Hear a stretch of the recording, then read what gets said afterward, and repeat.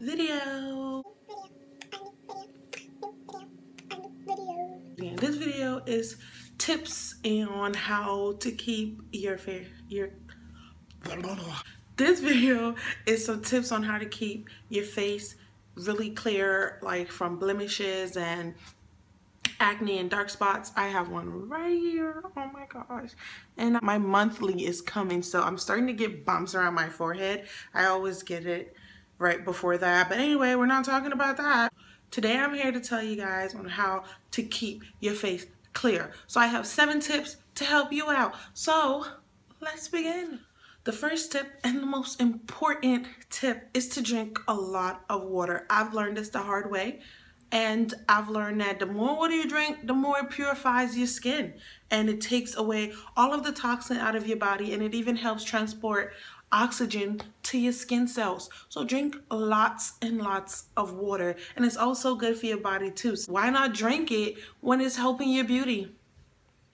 Number two, get rid of all sweets and all soda, stuff like that because it it's so bad for your skin that it brings so much more like acne to your face and bumps and stuff. I've learned it the hard way and I've realized once I start cutting that off, my skin gets clearer and clearer every week. So cut that off and drink a lot of water and I promise you, you will see a change. You will see a big change and add some veggies in there. Trust me, if you follow these first two rules, I guarantee you, you will see a change from the beginning. So on that note, make sure you drink a lot of water, cut out all sweets and soda. Tip number three. Okay, so tip number three, I know a lot of us have this problem, even me sometimes. I just go to sleep with my makeup on. Tip number three is make sure you strip away all, I mean all makeup from your face you're going to take the makeup off with a makeup remover and then make sure you wash your face so that your face is clean when you go to sleep. Because leaving makeup on your face can clog your pores, which isn't good. And it can also leave your face to excessive dryness. Just make sure your face is clean before bed. Trust me, you will see a big change with that too. And everyone should know that leaving makeup on is not really good because all the chemicals that are in your makeup. But like I said, I've trust me, I'm guilty. I go to sleep with my makeup on, like especially from a long day, or if I went party and I just went to sleep. I know a lot of us go through that, so that's tip number three. Remember to wash away your makeup. Number four, stay away from hot water. Keep your face away from hot water. I know everybody takes hot showers, hot bath, and stuff like that. I personally don't. I keep mine more towards the cold side a little bit, like a little warm. Well, warm to me is probably cold to everybody else, but yes keep that away from your face because it strips your face from all the essential oils that your face has. So keep that away from your face. And it can also leave mild burns on your face depending on how bright your skin is and stuff like that too. Even how dark your skin is you can always burn your face. So stay try to stay away from that as much as possible because you need the oil that's that your body is providing. Number five. Keep your face moisturized. After you wash your face at night, like make sure you moisturize your face so it locks in the moisture. It locks in everything right after you wash your face because you don't want to go to sleep with dry skin. And then some moisturizers has um, ingredients in them that can keep your face really moisturized that locks in the moisture and everything. So keep your face moisturized and keep that in mind that the same way you don't want your body ashy, you do not want your face ashy. Trust me. So keep your face moisturized and I promise that's another good reason, another good tip of how to keep, you know, blemishes and stuff like that away from your face. Tip number six.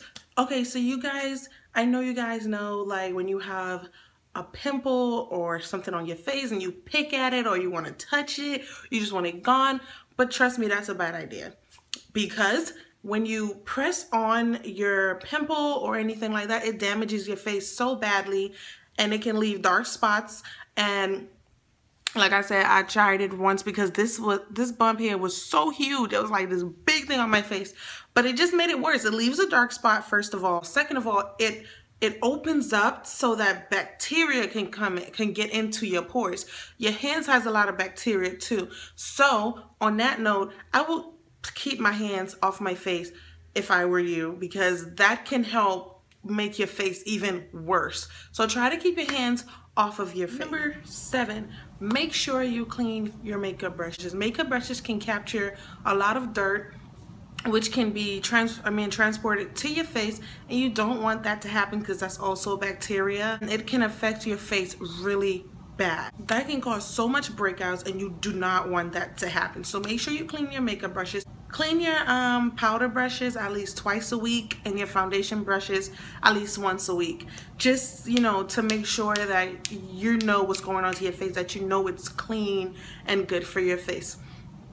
And this one is is not it's a tip but it's not included.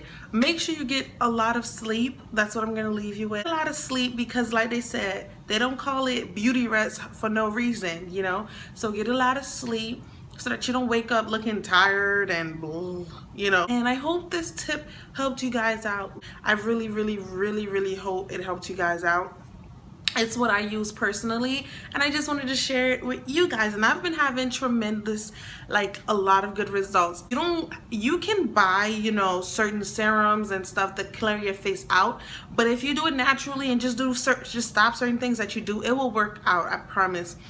But if you do buy certain things for your face don't rush it. Make sure you're patient with it because you don't expect it to work overnight so if you do try certain things, comment below and let me know and tell me how it's working for you. And if you do take my advice, comment below and let me know how it works for you also. Make sure you like, comment, and subscribe and share this video with someone that might need it. Thank you guys for watching. See you guys soon.